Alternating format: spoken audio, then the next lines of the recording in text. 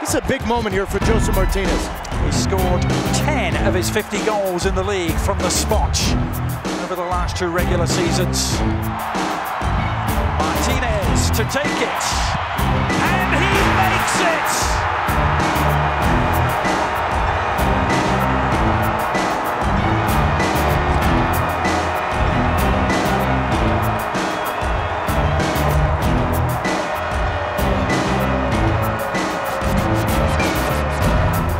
Five stripes fire themselves in front.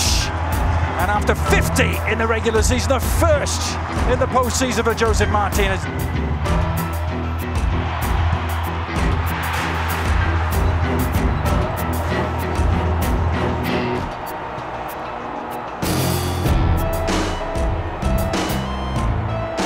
The jump step a little interesting for me because it overcommits yourself to go in one way, but Sean Johnson going the other way. And what a huge goal to take away some massive, massive anxiety in this building. They couldn't score against Columbus. 25 minutes in, in their second home playoff game, they get a goal from their leader up front, Josef Martinez.